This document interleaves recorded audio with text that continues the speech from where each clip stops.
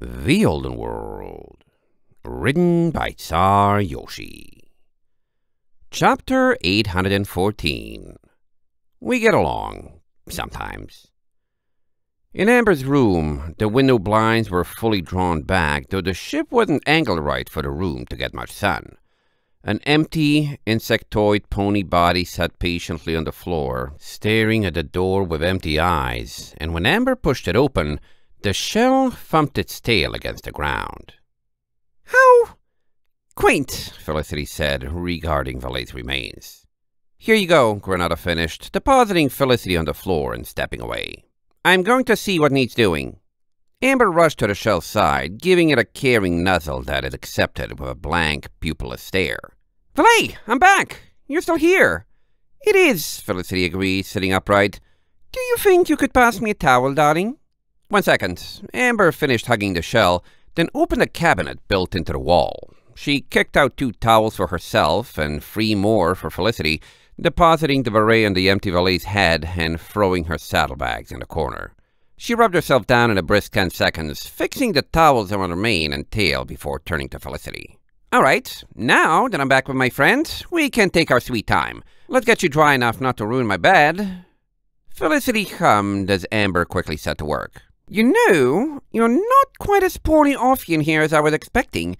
I suppose the messy mane speaks of poor self-care, but you've got the window cracked and everything.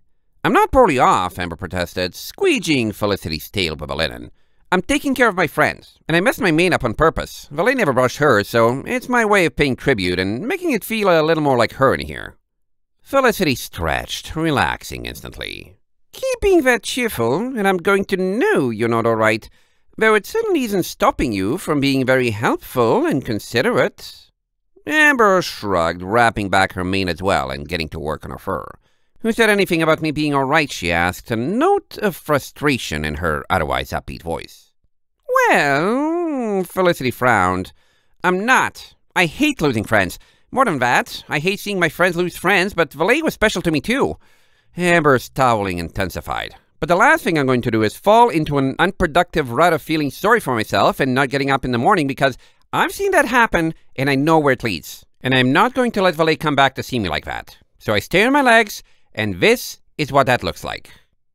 Felicity's ears fell. I see. And if you're going to be poking ponies for not being fine, I'm going to do a little prodding on my own too, Amber continued. I didn't say anything about the river because Granada was there, but what's with you? Valet always vouched for you up until you betrayed us. Mostly betrayed her, though. And now the moment she's gone, we get you instead, and you're worried about how we're doing? You have to have something against her, but I can't see what. Are you jealous? Odd of you to be verbally tearing me down while pampering me at the same time, darling, Felicity meekly pointed out. They're not mutually exclusive. Amber continued drying. I'm going to continue doing what I can to help us reach the day when Valet can return, and if that means getting you to be productive... She rolled Felicity partway onto the bed, starting on her chest. Congratulations. I'll do it. Felicity frowned. You're not in a good way. It's not stopping me from helping. Felicity shrugged. This is the first time I've seen you outside your room in days. I'm helping by caring for Valet and making sure she'll be in perfect condition for when we can put her back together, Amber insisted. And it's a job nobody else seems willing or able to do. So, hypothetically, if someone told you it was time to cut your losses, Felicity hesitantly began. Amber squinted at her, pausing in her towel down. You do have a problem with her. She resumed her work, not making eye contact. I didn't say that, Felicity calmly began. Amber interrupted her before she could continue.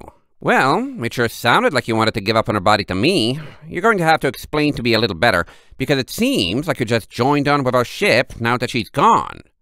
Well, now you're trying to make me cry, Felicity protested. What am I supposed to say? Agree we must get it back at any means necessary?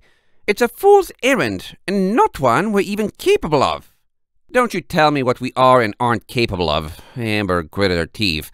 I have a friend whose name is Starlight, and while everyone else was dead, dying, or not even there, I watched her fight off that thing Crystal became and win, after everyone else got destroyed without even a fight. If she can beat the thing that beat Valet, I believe she can make this right. It isn't the first time she's done the impossible. Felicity blinked. This isn't Jaya, darling. What are you doing heaping your work and expectations on a filly? Amber tensed. Who else will you turn to? Do you know how many goodbyes I've had over the course of my life? Felicity frowned again. Amber toweled harder. Did it change anything? Felicity gave her an intense stare. I just parted ways with my two sisters, whom I helped raise from birth and shared everything with, over an argument on what to do with you and your friends.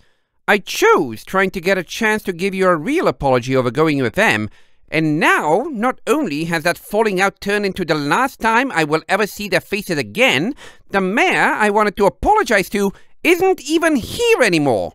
So, as much as I might deserve it, before you question my loyalties any further, I'll have you know I am hurting just as much as anyone else here.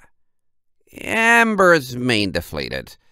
Fine, whatever. Just, she was special to me, so think twice before saying we should give her up for dead while I'm listening. She was special to me, too. Not that anything ever would have come of it. Uh, Felicity folded her ears. It sort of takes that to make one rethink two decades worth of a life dedicated to vengeance and I prefer to honor the dead rather than burying my head in denial. But, well, whatever, as you put it. Amber concentrated on her work. I'm not sure we're talking about the same kind of special. And I wouldn't be surprised if we are, Felicity replied. Clearly special enough to get you this off balance just by passing away. It's obvious you're deeply hurting, and do you mind not talking about how bad I'm trying not to feel? Amber tensed again. It's an uncomfortable reminder of things I'm trying not to think about, at least until my friend's ribs are healed and we can talk about it together without not being able to hold each other. And you're the one who's trying to cope by getting others to make their body feel nice. Uh, Felicity winced. Is it awkward? Sorry, darling.